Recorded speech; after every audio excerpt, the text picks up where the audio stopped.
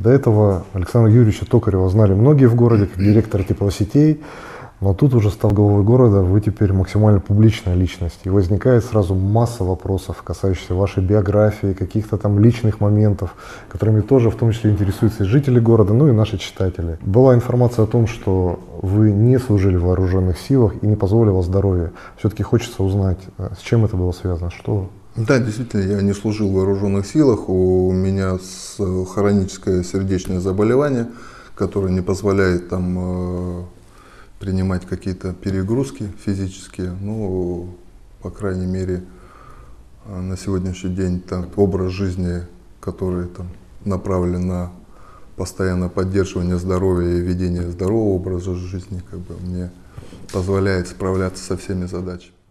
Но нагрузки как главы города, они, наверное, не меньше и психологические. Нет, физические, именно я говорю физические, там перегрузки физические именно запрещены.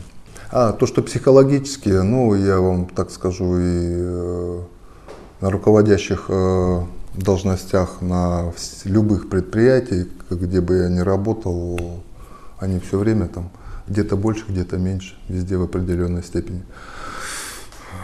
Нечего переживать, работать надо. Работать надо. И переживать не надо. Бери, бери цели, иди выполняй, достигай цели, получай результат, и получишь себе удовлетворение от результата. А когда занимаешься ерундой, как бы непонятно там э, чем, не, не, от этого и потенциал, какие-то переживания, там недостижения. Но в вашей сегодняшней работе семья вас поддерживает?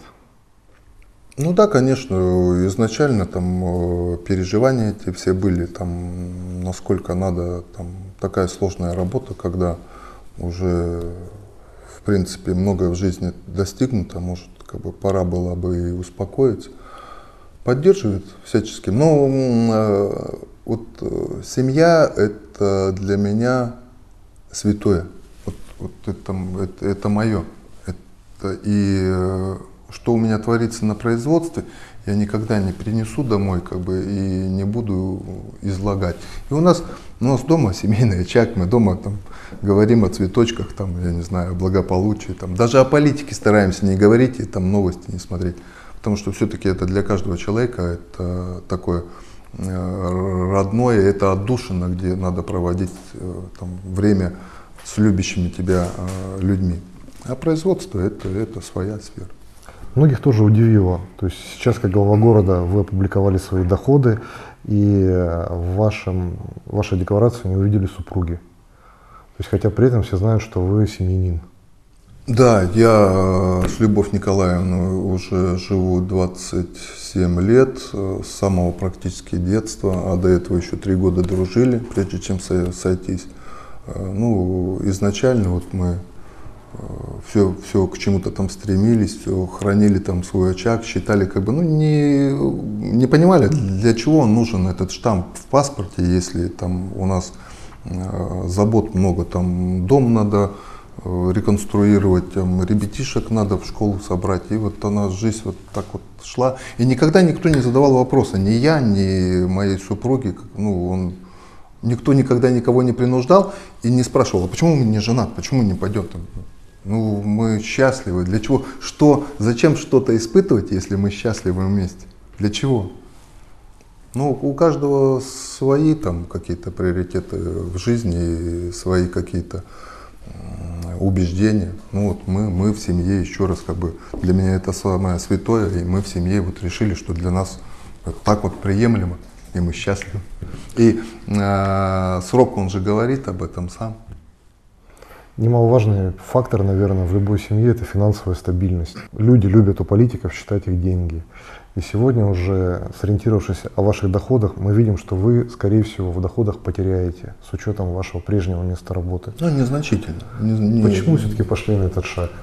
Ну, я уже сказал, что все-таки в жизни мы э, уже состоялись, и мы достигли практически всего там и дом построили, и дерево посадили, и ребятишки у меня уже все взрослые, самостоятельные, как бы и старшие, и младшие.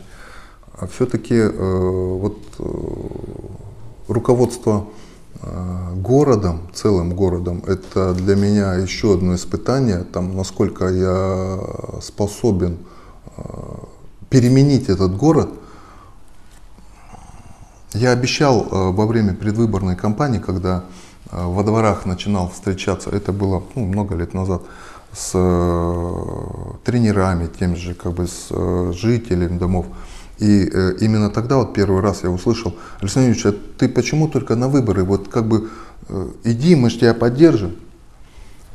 И это с таким э, клубком нарастало все от э, частных э, предпринимателей, от э, врачей, кого я знал. То есть э, моя сфера деятельности, она охватывала очень большой круг э, разных сфер.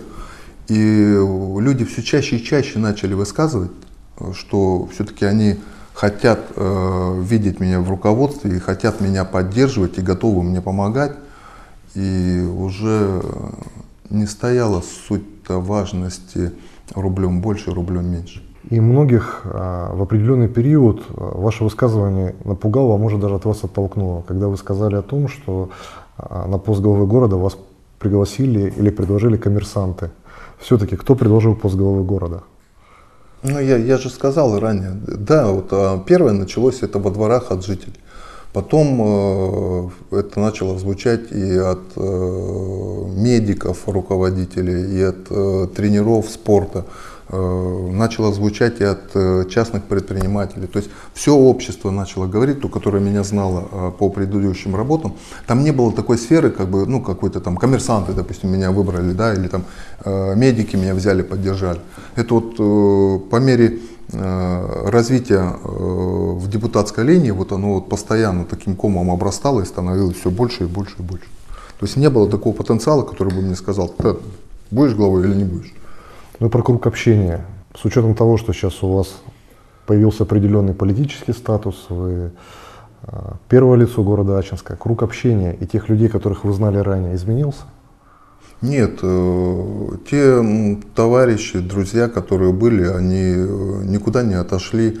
Они немного э, меньше со мной общаются из уважения, там, даже имея какие-то свои проблемы, там, внутренние, там, я не знаю, семейные, они не обращаются, я о них узнаю, говорю, «Ну, я ж это, могу тебе там помочь, там, я не знаю. Говорю, да ну, Юрьевич, у тебя сейчас столько работы, то есть они меня так и оберегают. Единственное, что он сейчас намного расширился, конечно, до, до некой бесконечности для меня. А тот потенциал, как бы, который рядом был со мной, он так со мной и остался.